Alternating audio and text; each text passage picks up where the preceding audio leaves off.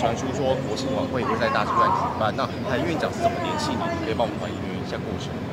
好，因为国庆晚会主办哦，立法院当然他们会进行相关的筹划，所以韩院长确实有跟我们联系，啊，希望今年的国庆晚会可以在台北市举办，所以我们当然就非常愿意，而且很高兴，在这么多年之后，国家重要的庆典再次回到首都台北市，所以我们一定会尽全力努力的把国庆晚会办好。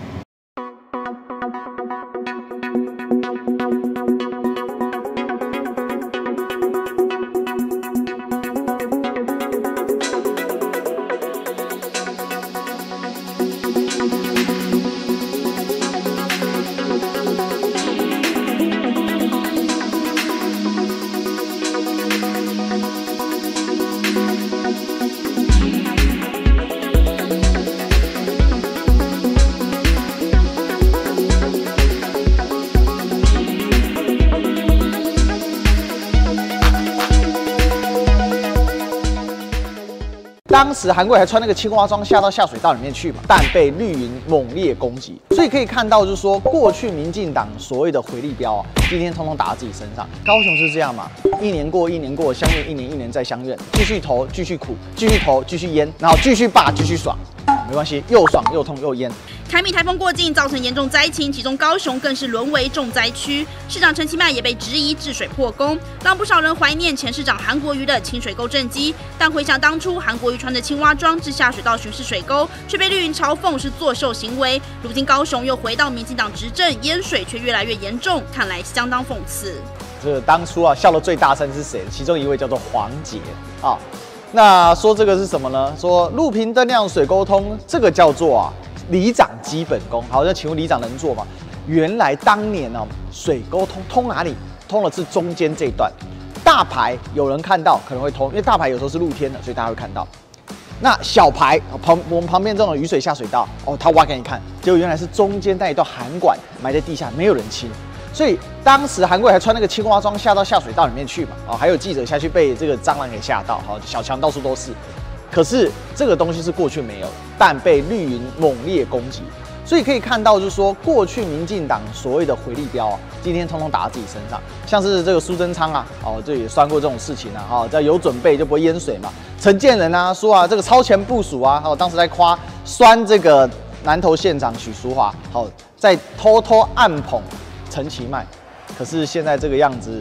还叫做有事先做好？有啦。陈清迈最大的超前部署叫做放台风假，所以我只能讲啊，虽然我身为高雄人，很不愿意批判就是高雄相亲，但是我必须说到现在这个样子哦，如果还是像以前一样继续相同颜色执政下去，那就是一成不变，甚至花更多的钱也没有办法解决问题。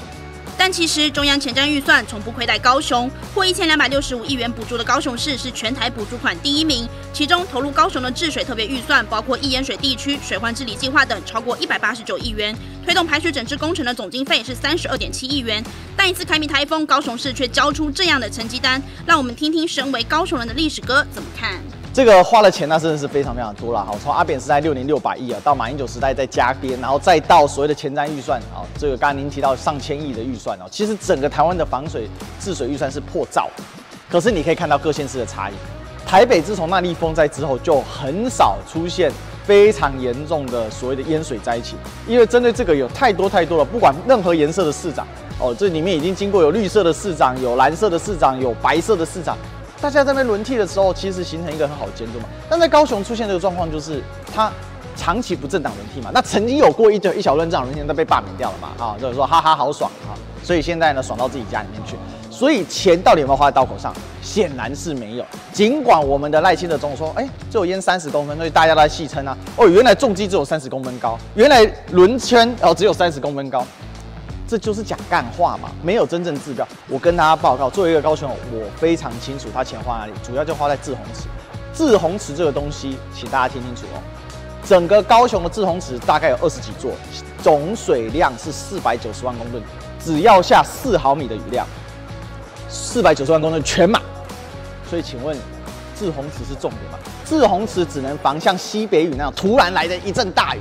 那突然之间呢，你水泄不掉，所以你把水导流到滞洪池里面。但西北雨的特色什么？塞爆喉，哦，因为是滴滴热嘛，热接那个膜啊，一下就下完了。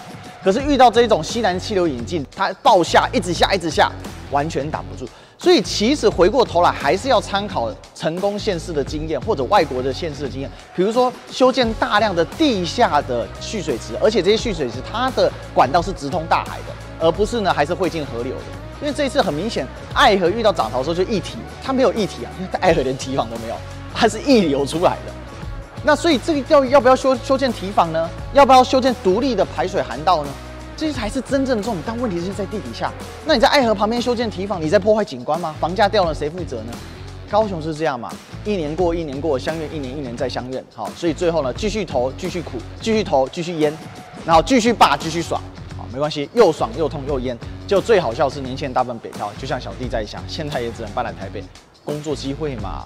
所以这才是高雄的一个核心议题。高雄哦，是因为那个人现在人家说，哎，那个七个地委嘛，嗯都有去看灾在啊，看灾哎，都跟着陈其迈身边不见了啊！哎黄姐说，哎。政治大政治大可不必，是然后他就 PO 了很多哎，他说：“哎，我黄杰团队去做什么做是什么。”是可是网友这时候说：“那你呢那你为什么都没看到你的人？都是你的团队，那你的人呢？还是他害怕碰到水，他碰到下雨，他就觉得他会把他的妆给弄花了，他不愿意出门。不知道啦哈，我觉得这个我所以我一样嘛哈，就是说。政治人物碰到这些都有一些灾难政治学啊，这些政治学到底是怎么做？我觉得中规中矩就好，也不要太 over，但是也不要说哦漠不关心，那人家会觉得说这些都是民意出来的，不管是呃首长还是真还是民意代表，哦，他其实上他都代表某种民意。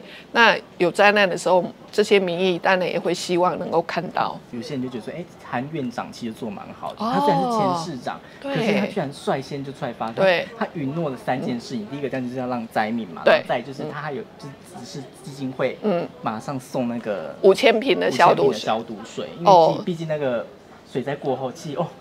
昨天我看到很多议员传给我们那个他去看灾，你知道哎。那水退，你说水对啊，两小时水退退了，可哎。是那个好好可怕哦。我跟你讲，水退之后，那个地面黄泥的那种流下来的，尤其是南部，接下来天气太炎热，吼，我跟你讲，那个登革热这件事情，吼，尤其是在南部，其实就是这样，就是不管是风灾、水灾之后，水退了之后，其实环境的清洁是一件很重要。所以你要为什么说灾后的重建才是重点？灾后的重建，它会带来了一个环境工位上面的一个问题。